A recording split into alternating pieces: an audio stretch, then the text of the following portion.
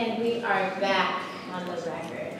Uh, Madam Clerk, if you would read the next agenda item, please. Yes, number four, 2017-064, an appropriation of $338,290.86 for police superior officers, fire alarm union, department head, advantage line, salary increases. Thank you.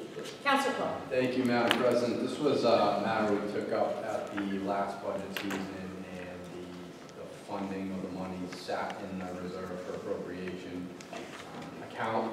Well, Madam Auditor has, in, in more context, she'd like to elaborate on, but that's essentially the, um, the back- backdrop there. Madam Auditor.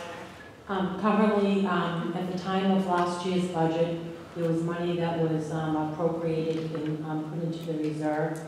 Um, That reserve, as, as the unions have settled, we have taken, uh, the council has taken a vote to move the money out of the reserve into the lines of those particular unions that had settled. Um, Currently, the police officers, the superior officers have settled. Um, We are also, we have the fire alarm union, and department head raises along with management lines at this time. Thank you, Madam Auditor. I mean, with that, Counselor Crowe. I move approval. Motion to approve by Counselor Crowe, seconded by Counselor Devon on the motion. Counselor Calhoun. If I may, through you to the mayor's representative, uh, where does this leave us with outstanding? Are there- Is there anyone outstanding? There is. Through you, Madam President, the uh, patrol officers union uh, remains uh, unresolved. Uh, At this point, we came forward uh, with the appropriation for everything else because uh, patrol officers are going to arbitration and that will be uh, outside of the city's control at this point. So we felt that that was an appropriate time uh, to bring in the remainder of the appropriate, uh, reserve for appropriation. What's the timeline on, on that process? It's, uh, it's a state-run process, Counselor. Um, it- It could be months. Uh, I don't I don't have an exact uh, timeline on that. And I suppose at some other point, we'll, we'll talk a little bit about, perhaps in the budgeting process, about funding potential monies. Yeah, through, I mean, I'm- I'm thinking Boston's arbitration didn't go so well with the fire department yeah, a couple of years Madam ago. President, through you. Unexpected. It it certainly could be, and that's the, the, um, you know, that's the balance that when you take a, a- an issue to arbitration, but arbitrations are uh, mutually binding. Uh, They involve both parties. Um, The city has been, I don't want to get into too many details, but we have been uh, relatively successful. And I want to point out that there's not um, much animus in terms of the negotiations here. There's not a lot of ill will. Um, The, the two sides uh, just came to the conclusion that an arbitrator would be best uh, served to, to handle this issue. Uh, All the unions that have agreed to settlements in the city uh, have agreed to the same uh, wage increases, uh, and that is essentially what is on the table with the police officers. Um, And again, we certainly don't want to um, infringe on their right to to seek an arbitrator to to assist in the process, but um, we feel uh, fairly confident in- in our position uh, through the work of the Human Resources Department. Um, So we'll, we've been through this process before, uh, we'll be through it again uh, with other uh, issues. Um, And it's something we feel pretty comfortable with. Okay, yeah, I mean, I certainly, people's livings in the human leadership has to do with, uh, it's best for their members, uh, taking to arbitration if that's what they deem is necessary, I have no problem with that, I just want to make sure that we know what our potential liability is down the road, given what we've seen happen in the past with other municipalities, where it is one very large, cumbersome, difficult check to swallow that has to be paid out retroactively. Sure, Council, through you again, Madam President, just quickly, I, I think that there are some larger issues at play in the city of Boston uh, than we have here in the city of Quincy. Essentially, uh, our issues are this contract, and this contract only. Uh, I could be wrong, but my, my sense is, that the city of Boston was dealing with some long-term, fairly complicated issues uh, over the course of a very long period of time. Um, This is one contract, I think theirs went back perhaps uh, years um, in in Boston. So I think there might be a little bit of a difference. Again, I don't want to speak out of school, I don't know all the facts of that case, but I think we might be a little bit different. Thank you. Thank you. Anyone else? All right, so there's a motion to approve, seconded by Counselor Vaughn. Madam Clerk, if you would call the roll. Counselor Cain. Counselor Crowe. Yes. Counselor DiBona. Yes. Counselor Finn. Yes. Counselor Harris. Yes. Counselor LaForest. Yes. Counselor Liang. Yes. Counselor Palmucci. Yes. President Hughes. Yes. Eight members. Passes. Great, thank you very much.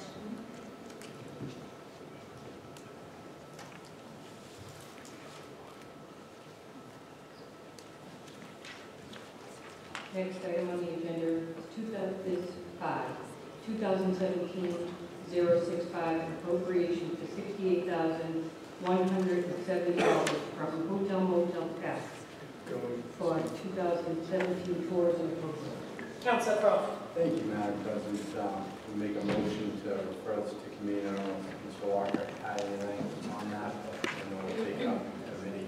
Well, Mr. Chairman. All right, so there's a motion to uh, refer to finance by Counselor Crowe, seconded. Um, No, okay, all those in favor? Aye, great, the ayes have it, thank you, Counselor Harris. Um, Next item, so that will be referred to, uh, to finance. Next item on the agenda is number six, 2017-066, a gift for $1,650 from various donors for the DA program. All right, thank you, Counselor Crowe. Thank you. Um, We make a motion that we accept the gift, and Nicole, if you could, please, uh, make sure that the donors are recognized with a letter of gratitude.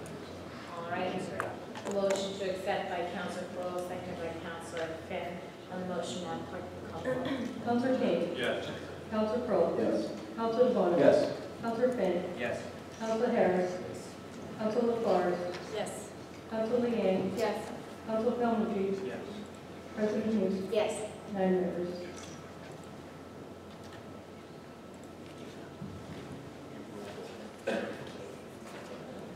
And number seven on the agenda, 2017-067, a resolve requesting of the administration to explore utilization of electric vehicles. Counselor Finn.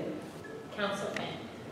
Uh, Thank you, Madam President. Uh, Again, this is a resolution that in many respects emerges itself from the people, from the citizenry. This is actually a resolution that was put together with the Quincy Climate Action Network. Uh, And again, what they've been doing is they've actually been meeting with the councilors at large. I do believe they plan to meet with all the councilors, but this specific resolution that they have put together seemed to me to be um, a perfect uh, thing that could easily be forwarded as a resolution because it looks at the feasibility specifically of utilization of electric uh, vehicles. And if we could, with the uh, unanimous consent of the body, perhaps we have with us here this evening, we have David Wright from the Quincy Climate Action Network. We also have with us as well uh, former Ward 3 City Councilor Larry Chretien. Uh, He was today the Executive Director of the Mass Energy Consumers Alliance. And I thought if we could uh, have a moment, perhaps they could come forward and talk a little bit about this resolution, why they put it forward, and why they think important. All right. So if there is no objection, all right, very well. We welcome the uh, members from the uh, Quincy Climate Action Committee to the podium.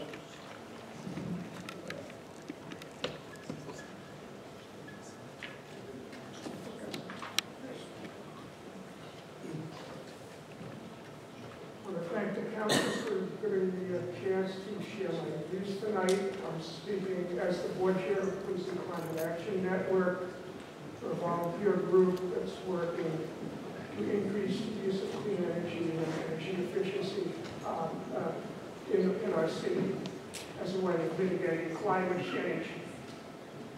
This January, at our first membership meeting of the year, we experienced something unexpected lots of new faces in the room. And most of the people who dropped in that night ended up joining. A few of us here in the second row tonight. Um, This is great for us, of course, but I started to wonder why the surge of interest. I think the answer is pretty clear. People have decided that with the federal government retreat from the battle against climate change, we have to do more locally. The resolution that's being introduced tonight deals with one of the many things we can do, and QCAN wants to thank councilors Finn, Young, and Mona for sponsoring it. Recently, QCAN has devoted some time to learning about electric vehicles, also known as EVs, and here's what we've discovered. First, if the city began using EVs, it would help us meet our obligations under the Green Communities Act. As a green community, the city has been getting a lot of grant money from the state, a quarter million dollars in some years, for projects that increase our energy efficiency.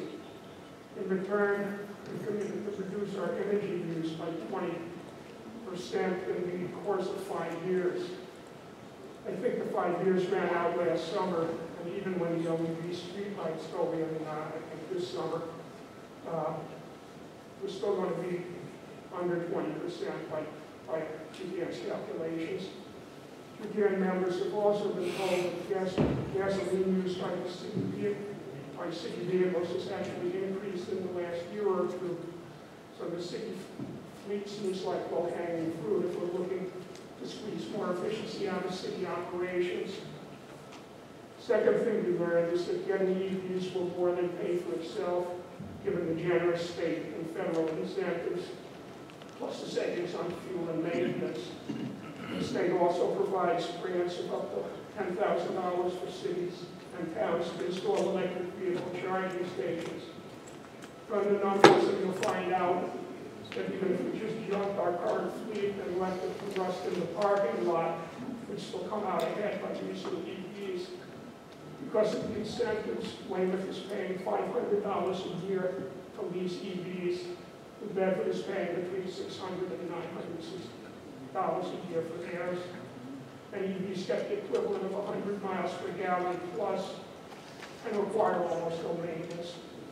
One thing I should mention here, uh, just as a caution, is, uh, this is something I just found out uh, two hours ago in an email from Larry, which is that the uh, state uh, pool of money uh, for, for, uh, for the uh, EV incentives uh, for municipalities has temporarily run, run dry, but that uh, in time, uh, more money is going to be added, so that uh, this is something that the city can, can explore um, without wasting our time.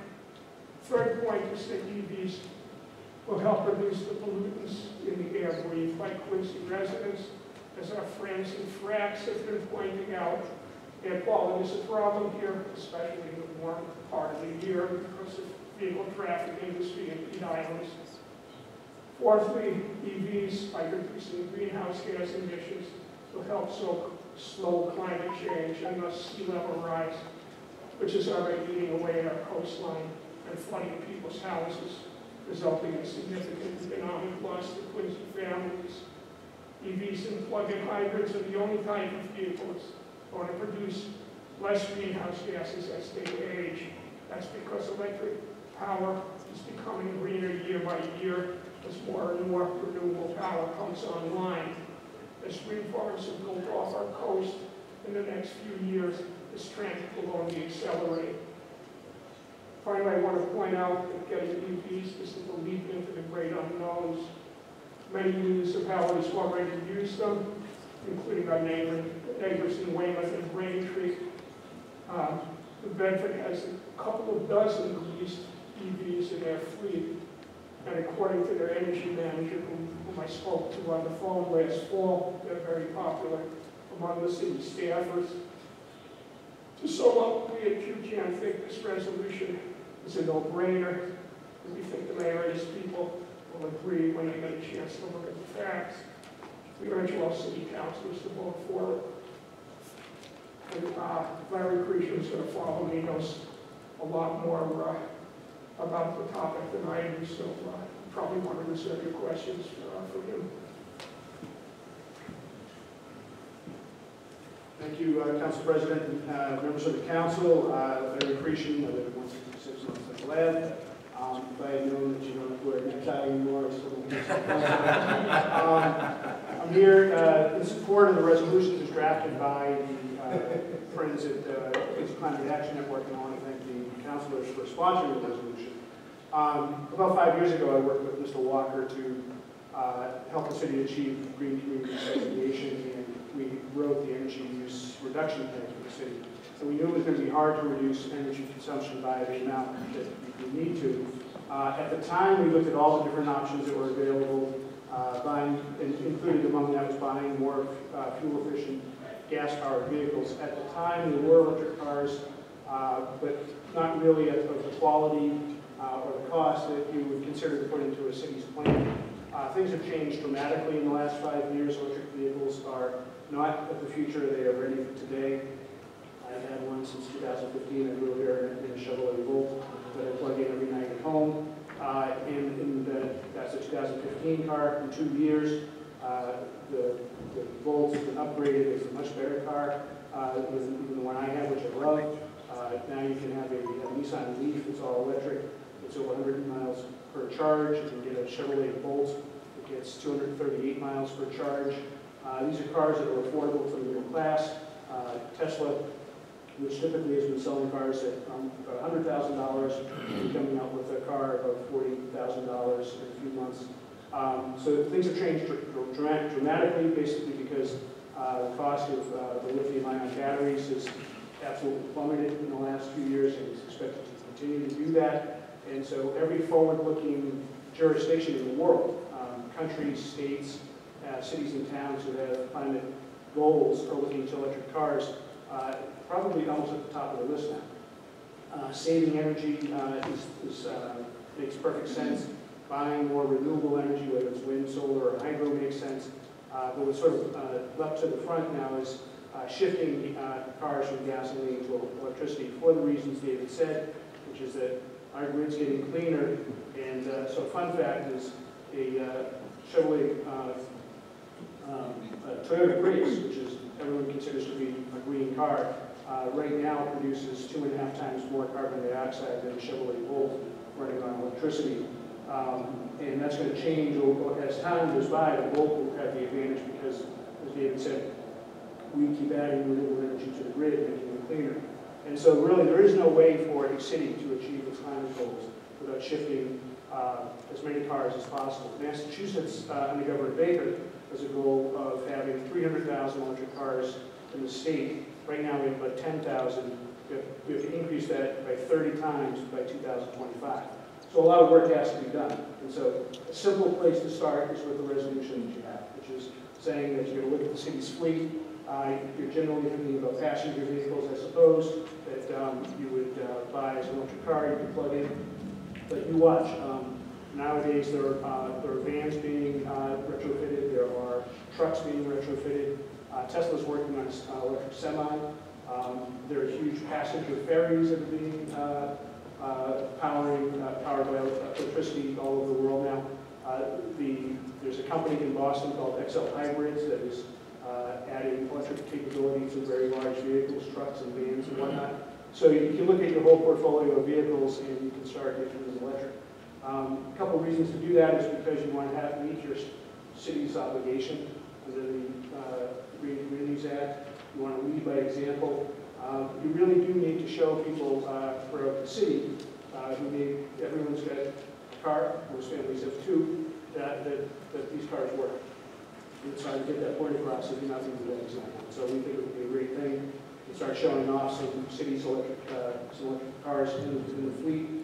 Um, Also in the resolution is the idea of putting up, uh, installing some charging stations. And that's a perfect, uh, perfect uh, uh, idea as well. Uh, Most charging is done uh, at home, uh, but people, if they're going to come to City Hall for four-hour city council meeting, it would be nice to plug in and be able to, uh, uh, to get some uh, uh, charge in in the, uh, in the vehicle for that. It could be uh, a business person coming into the city, might want to look for a charging station.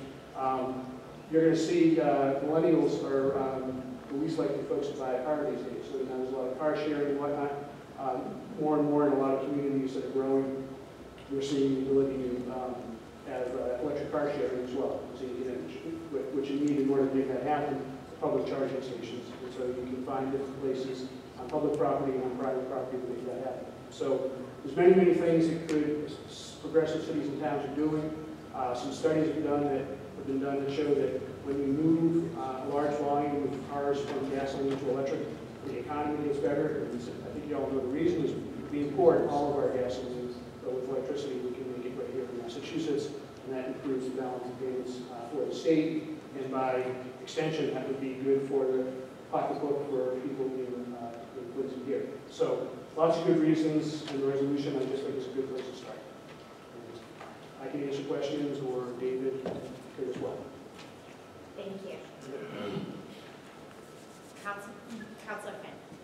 I would like to uh, yield to Councilor DeBon at this point, who again, along with Councilor Liang, co- co-sponsored the, uh, the resolution. Thank Thank you, Councilor Finn, um, thank you, Madam President. Just want to say that I- I'm honored to- to co-sponsor this with Councilor Finn and Councilor Liang on this uh, resolution to look forward to getting less vehicles on the roads. If you talk, talk a little bit about the car sharing, I really like that element of the millennials, car sharing, uh, one vehicle maybe to, you know, you know, 10 people. And that would really be great, with less vehicles on the road out there. Um, And that, that's a new way of, of, of, of selling point of our downtown redevelopment. Um, Going into the next phase of this is thinking outside the box, how can we get less vehicles on the road and make it more green? Um, With all the parks that we're doing in the open space in the city, we're, we're, we're, you know, trendsetters. I have to thank the mayor, Mayor Koch, for his vision on this city and what we're doing, transforming and keeping the historical end of it, which is very important for the city, but also moving it forward economically. And this is just right down the alley. I want to thank everybody uh, from Buchanan being up here today. I, I very much enjoyed sitting down with you and learning about all the different things that you guys bring to the table as specialists in the field that you do.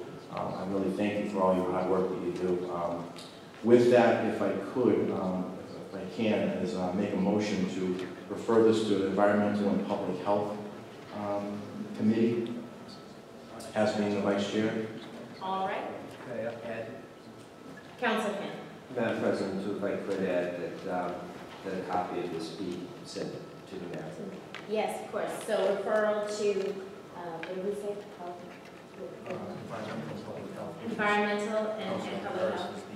the, the chair of it. Okay, Councilor Harris? So this, you want to pass this tonight? I make a motion to pass this tonight.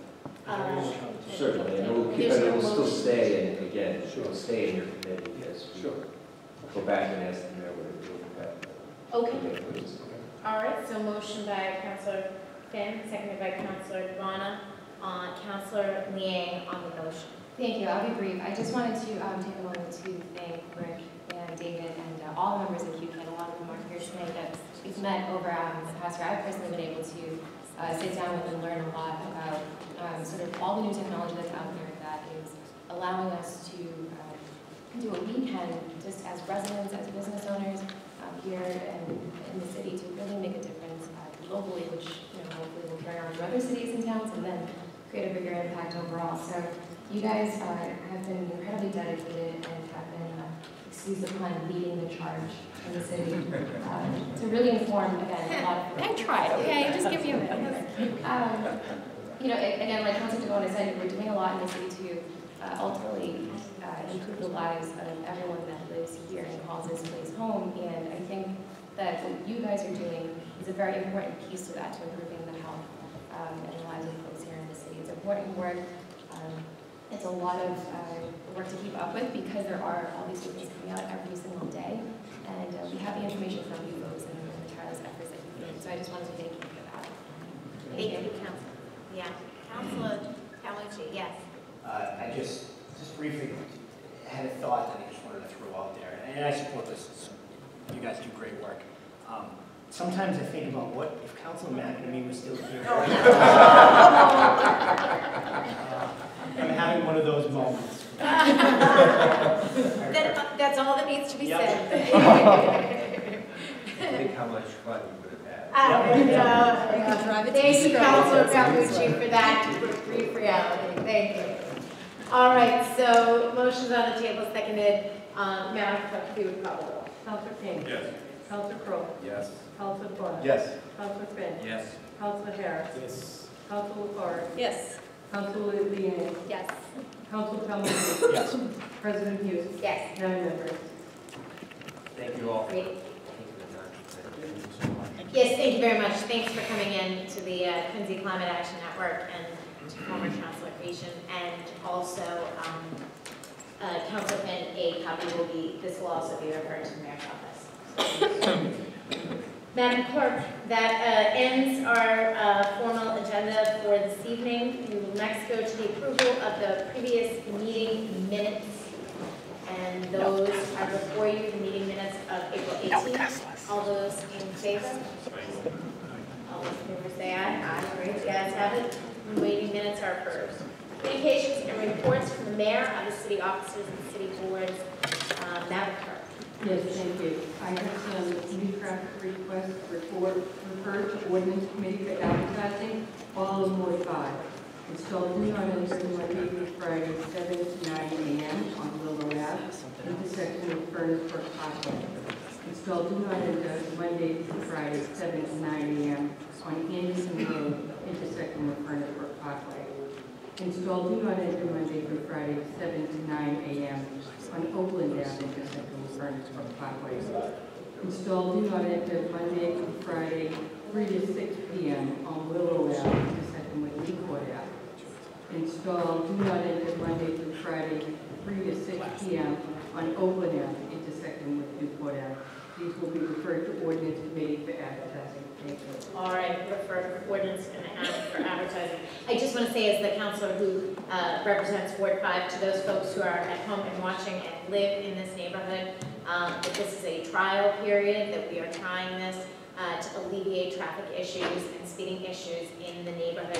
So um, I know there's a lot of concern on George Road as well. We're going to address that this week. Um, So uh, just sit tight. Please give me your feedback. Let me know. We're going to reevaluate things at the, uh, nearer to the end of the summer and trying to decide what we're going to do in that neighborhood. Certainly uh, not a fix-all. I want to thank Councilor Cain for uh, joining in in the effort. He represents half of one street in the neighborhood, so um, I want to thank him for uh, his diligence and his patience, and for all the residents really of the neighborhood for their patience. It's been difficult, so thank everybody for that, me included, because I live right at the first do not enter, so.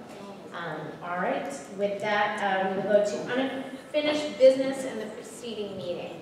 Anyone? Anyone? No. Reports of committees. No. Presentation of petitions, memorials, or remonstrance. Anyone? Anyone? All right, at this time, I would like to, oh, okay. It's, it's right after you, so. Um, With, um, with sadness, we, we lost a couple of, local legends, uh, this past week, including John Gillis, but one of our, uh, in Ward Three, one of our neighbors from Wallace and Montclair areas, Janet Crowley, who's the wife of Howie Crowley. Um, Janet and Howie, uh, you know, were and and institutions to the neighborhood. Uh, they're co-founders of the Montclair Wallace Neighborhood Association, very active in Sacred Heart Parish. Um, Howie remains active in Knights of Columbus, other organizations. Uh, Janet was a longtime board member from Ward Three uh, for QCAP. Um, and put a lot of effort into, into, into that area also. She was part of the North Quincy Catholic Women's Club. Um, she was adored by her husband. Um, I attended the wake today, and, and Howie was a great guy. Um, you know, he was noticeably choked up, and you know, we as a community uh, for sure would be there for him. Um, there were children, his grandchildren were there. Uh, very civic-minded. She was part of the Montclair Code Club, girls softball, and bowling, Montclair School PTA, past president of Fontbonne Academy Mothers Guild. Um, I mean, she did it all. She was she was one of these people, like uh, John Gillis, who you know you would have to live a lifetime in order to do even half of what they accomplished. So, um, on behalf of the City Council, just want to send our, our love and, and prayers to the Crowley family. Thank you. Thank you, Councilor Cain. Councilor Finn. Uh, Yeah, with- Madam President, with the consent of the body, I would like to raise a matter of personal privilege.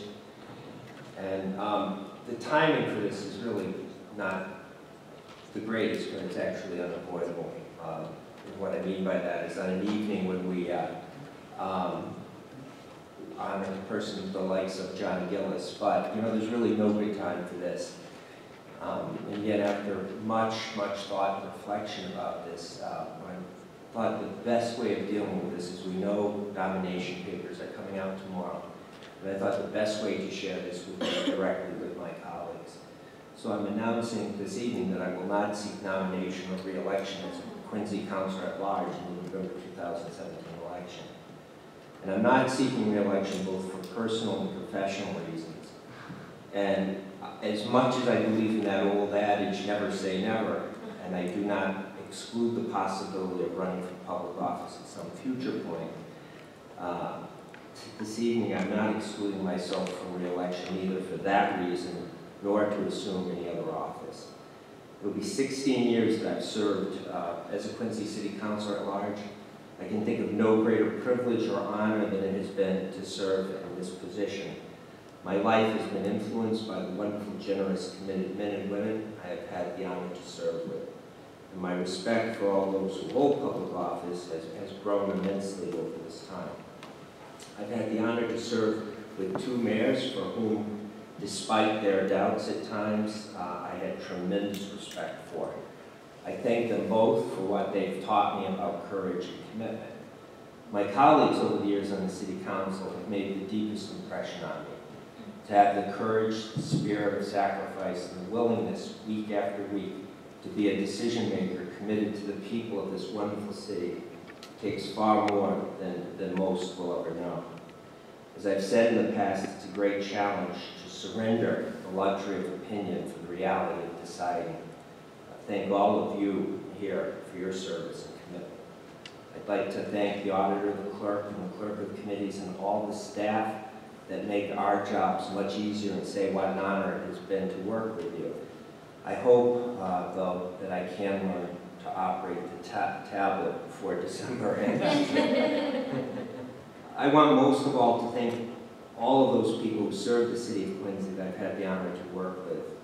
These are the folks that get up every day, go to work without notoriety or status, and keep the city move, moving department heads to public safety to our incredible school personnel to DPW park and uh, DPW park laborers, to clerks, to all those who had to deal with my often annoying phone calls. Uh, thank you. I know it's popular today to deride public service, but I can say firsthand you are an honor to the city and worthy of great praise. Finally, it goes without saying that my gratitude is with the many voters in Quincy who have voted and given me this great honor, and I hope I have lived up to your trust. And obviously, as well, I thank my wife and my family my wife claims I never asked permission to run for office, but, but I did to leave. Um, when I first sought office in 1999, I did so with the conviction that new voices had to be heard. When I first won office in 2001, I never intended to stay as long as I did. It seems fitting at this point to know that I'm returning to that fundamental principle that led me to pursue election. Our electoral process is the way for new voices to be heard, and I encourage anyone who feels called to seek public office to go for it. As Jim Sheets used to say, if you have that fire in your belly, you know, go for it. I honestly can say at this point, I can think of no greater, no nobler calling or service to your community to both seek election and serve the great people of Quincy. And I do want to note, as always, uh, very important person in my life who made it, who actually made it possible for me to be in this office through his hard work. And he's here in the gallery this evening, as supportive as he's always been, and that's Michael Berry. Michael, thank you, and I think you and I both are going to have to come, come up with a new way to lose weight. Yeah. But finally, let me say I'm committed to serving out what remains of my term with great vigor I will continue to uphold the sworn responsibility of this office for as long as I serve. And thank you all very much. Well, thank you.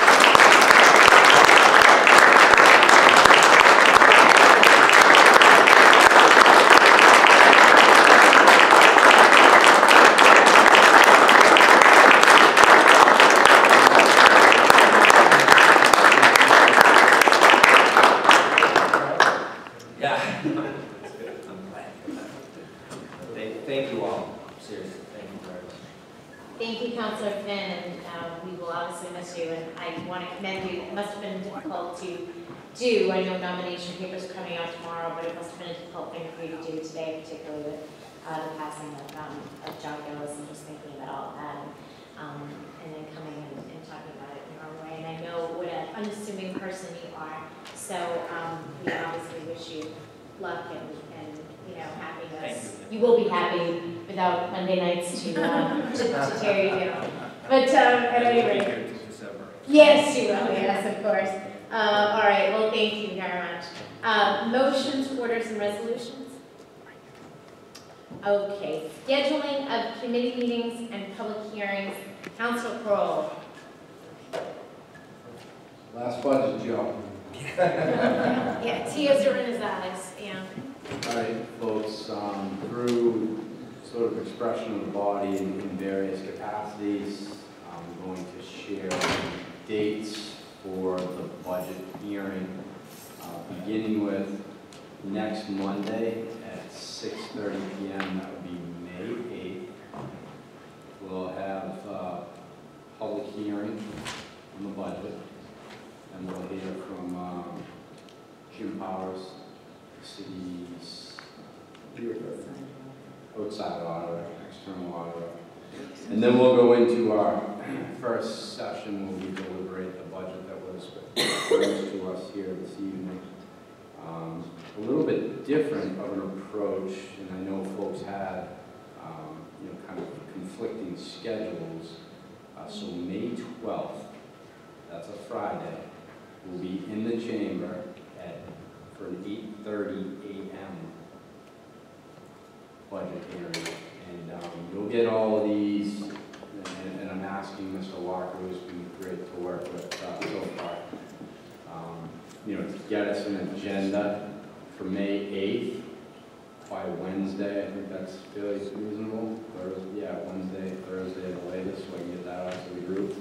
And that's- And then, um, you know, subsequently, we'll, we'll build out the agenda for Friday, the 12th. But um, it seems as if that worked best for most folks, again, given the schedule.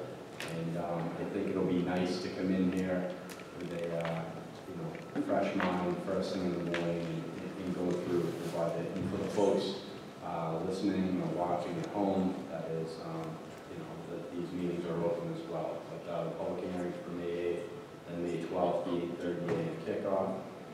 Uh, Madam President, May 15th, I believe, is the next council meeting. So we're working just a little, um, a little time in the beginning to maybe, obviously, pending your discretion, but um, start the meeting at maybe 7:25, open up the finance committee meetings, we can continue to work through, talk through the park improvement plan, go into the regular scheduled city council meeting, and then um, potentially even move forward with the uh, park improvement plan later in that, uh, in that meeting. So that's the, that would be the 15th.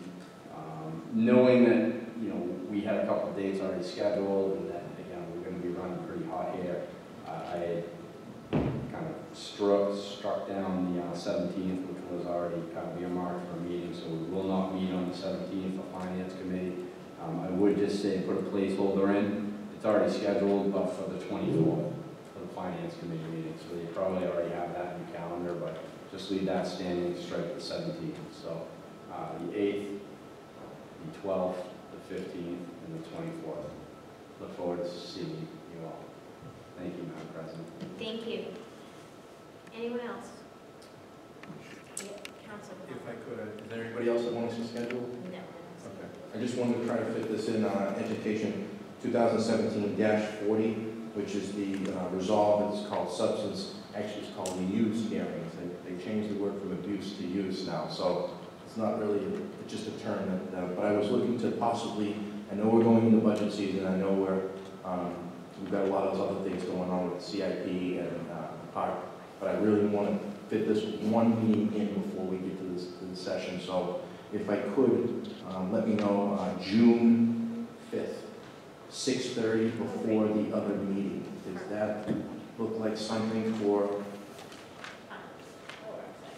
I think that works? Yeah. 6:30. No. Yeah. Uh, Education and the uh, substance use hearings, basically. We, we we canceled it last time, just to try to fit it in, and I think it's important. Okay. Is that good? Good. Thank you very much. Thank you. Anyone else? All right, at this time, I'll entertain a motion to adjourn. Motion adjourned. Motion to adjourn, all those in favor? Aye. Yay. Adjourned tonight, Madam Chair. Uh, yeah. Councilman Palmer, I missed you. Oh, Brian McNamara. Oh, Brian. No, no, I'm not Brian McNamara, that was the joke.